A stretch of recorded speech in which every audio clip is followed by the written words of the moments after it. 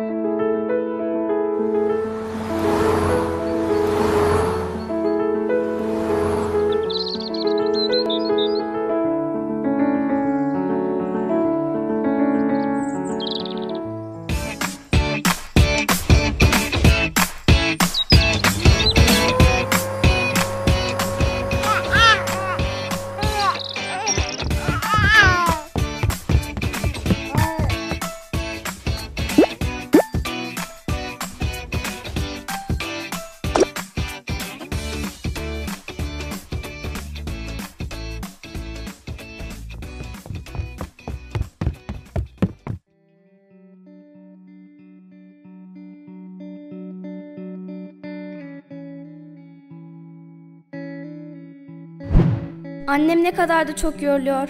Onun bu durumuna çok üzülüyorum. Kardeşlerimin ağlamasına neden bu kadar duyarlı bir türlü çözemiyorum. Anneme yardım etmek istiyorum ama o bana ev işlerini yaptırmıyor. Anneciğim sana yardım etmek istiyorum. Güzel kızım sen oyununu oyna. Şimdi çok işim var. Sonra konuşuruz. Peki anne.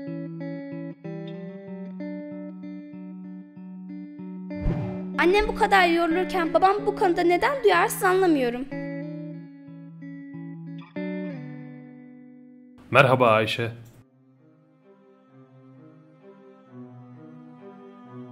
Ayşe, sesimi duyuyor musun? Duyuyorum seni Sedep. Değerler takımı çoktan yola çıktı. Evimize varmak üzere. Sana yardımcı olacaklar ve bu sorunu çözecekler. Teşekkürler Sedep.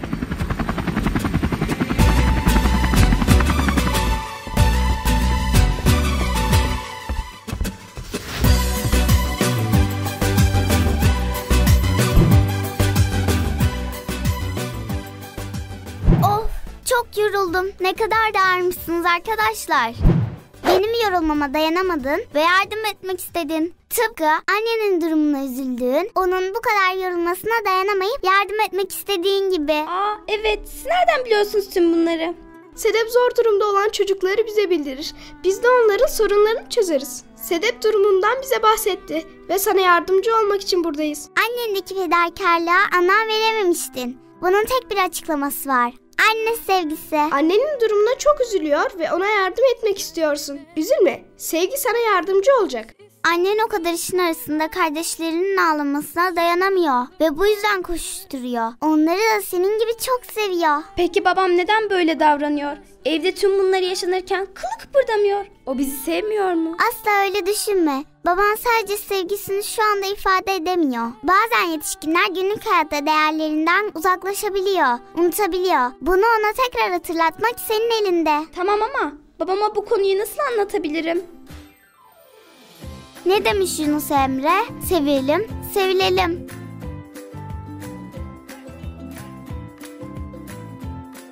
Baba, baba, bana bak. Baba, baba.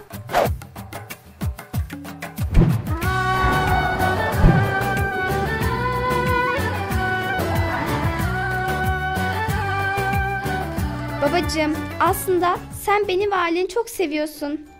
O da nereden çıktı şimdi Ayşe? Sana çok seslendim. Bakmadın ama ben düşerken telefon değil beni yakaladın. Oysa ben senin dikkatini çekmeye çalışıyordum. Beni telefonundan daha çok sevdiğin için beni tuttun. İkizler ağladığında neden onlara hiç bakmıyorsun? Annem koşuştururken ona hiç yardım etmiyorsun. Ben de tam senin annemi ve ikizleri sevmediğini düşünüyordum. Ama şimdi ne kadar sevgi dolu biri olduğunu gösterdin. Akıllı kızım benim. Haklısın. Bak Ayşe'cim, biz yetişkinler bazen hata yapabiliriz. Ben de telefona, televizyona dikkatimi verip anneni ve kardeşlerini ihmal etmiş olabilirim. Bu onları sevmediğim anlamına gelmez. Babacığım o zaman anneme neden yardım etmiyorsun? Canım kızım, ben bulaşık, çamaşır ve yemek yapmaktan, ütüden hiç anlamam ki. Sanırım bu konularda beceriksizim. Annen bu işleri ben yaparım diyor. E bana da yapacak bir şey kalmıyor. Babanla ne konuştun? Hemen anlatır mısın Ayşe? Çok merak ettim. Sevgi, biraz sabretmelisin. Elbette anlatacak. Haklısın sabır, özür dilerim. Sizin birbirinize olan bu saygınız en çok beni mutlu ediyor. Ama arkadaşlar konuşmamızı kısa tutalım. Unutmayın Ayşe'nin sorununu çözmek için buradayız. Daha bizi bekleyen yüzlerce binlerce çocuk var. Onların da yardımına gitmeliyiz. Babam aslında annemin durumunun farkında ama ev işlerinde oldukça beceriksizmiş. Sanırım aklıma bir fikir geldi. Babacığım çözüm buldum. Hadi kardeşlerimin yanına gidelim. Anlayamadım ama Ayşe. E, peki gidelim.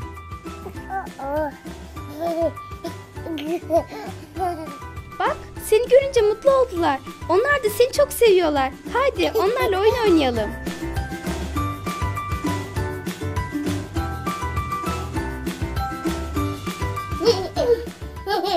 Babacığım bak onlara ilgi göstermemiz onları nasıl da mutlu ediyor. İkizlerle ilgilendiğinizi fark ettim. Size pasta yaptım. Seni çok seviyoruz canım annem benim. Sana yardım etmek istedik sadece.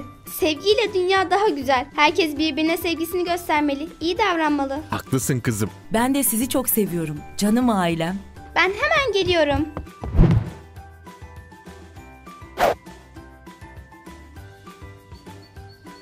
Hemen gidiyor musunuz? Size pasta getirecektim. Sorunumu çözdünüz. Size çok teşekkür ederim. Sedef merkezinden bir çağrı aldık. Bir çocuğun daha yardımımıza ihtiyacı var. Gitmemiz lazım. Senin de yardıma ihtiyacın olduğunu da unutma. Değerler takımı hep yanında. Aklımdan hiç çıkarmayacağım. Sizi seviyorum. Güle güle gidin.